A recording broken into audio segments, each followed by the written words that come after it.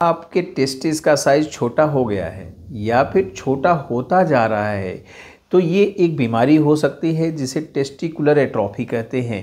Dear friends ये बीमारी आपके एक टेस्टिस में डेवलप हो सकती है या फिर दोनों में एक साथ डेवलप हो सकती है।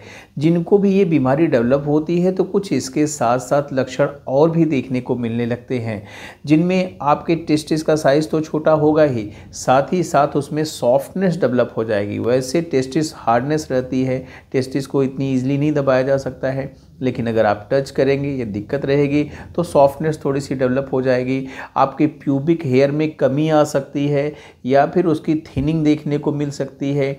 आपकी आपकी, आपके पार्टनर के साथ रहने की इच्छा में कमी हो सकती है। आप में इम्पोटेंसी या फिर नपुंसकता डेवलप हो सकती है।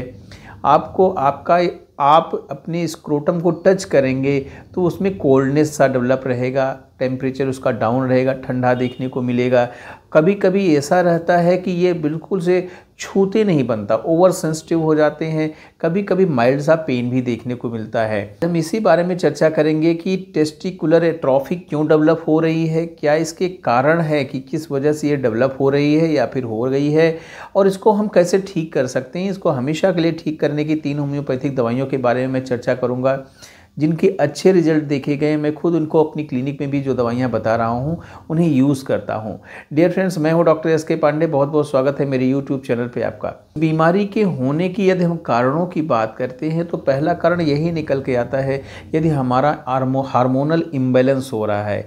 यदि बॉडी में हारमोन्स इम्बेलेंस हो रहे हैं, टेस्टोस्टेरॉन का लेवल कम हो रहा है तो ये दिक्कत देखने को मिल सकती है। या फिर आप इस्ट्रोजन और टेस्टोस्ट्रॉन को सप्लीमेंट कर रहे हैं, बाहर से उसके टैबलेट्स ले रहे हैं तो ये दिक्कत डेवलप हो सकती है। या फिर आप अपनी बॉडी बनाने के लिए जिम जाने के लिए या फिर किसी और वजह से इंजेक्शन लेते हैं, जिसे एनाबॉलिक स्टेरॉइड कहते हैं। बॉडी तो आपकी बन जाती है, लेकिन ये दिक्कत आपको डेवलप हो सकती है। यदि आपके टेस्टिस में इन्फेक्शन हो रहा है या फिर इन्फ्लेमेशन हो रहा है, जिसे ऑर्काइटिस बोलते हैं या फिर आपके पेशाब में इन्फेक्शन हो रहा है, वो भी बार बार इन्फेक्शन हो रहा है प्रॉपर पूरे तरीके से ठीक नहीं हो पा रहा है। यदि आपकी किसी वजह से सर्जरी हुई है स्पेशली जेनाइटल एरिया की सर्जरी हुई है, या फिर आप जो टेस्टिस है टेस्टिस को लटकाने के लिए जो रस्सियाँ होती हैं, उन, वो आपस में ऐंठ जा रही हैं, जिसे टेस्टिकुलर टॉर्जन बोलते हैं, या फिर जो नसें खून की नसें टेस्टिस को खून सप्लाई करती हैं, वो मोटी हो जाए, चौड़ी हो जाए, जिसे वेरिकोसील बोलते हैं। तो भी आपको ये दिक्कत देखने को मिल सकती है। यदि आप बहुत ज़्यादा अल्कोहल का सेवन करते हैं एक्सेसिव अल्कोहल लेते हैं, यदि आपकी उम्र ज़्यादा है या फिर डे बाई डे इंक्रीज़ कर रही है, उम्र बढ़ रही है एडवांस एज में हो रहे हैं तो आपको ये दिक्कत डेवलप हो सकती है।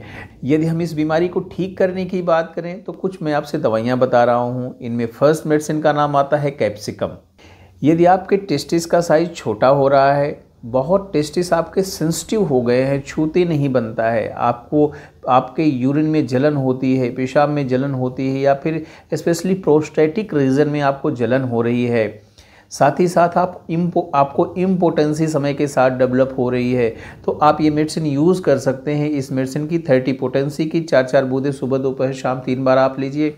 इफ़ेक्टिव और जल्दी रिज़ल्ट पाएँगे।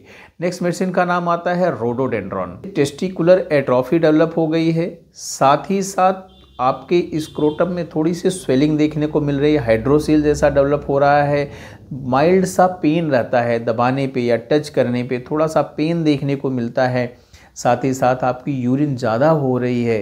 तो आप रोडोडेंड्रॉन यूज़ कर सकते हैं। इस मेडिसिन की भी थर्टी पोटेंसी की चार चार बूंदे सुबह दोपहर शाम आप तीन बार यूज़ करिए।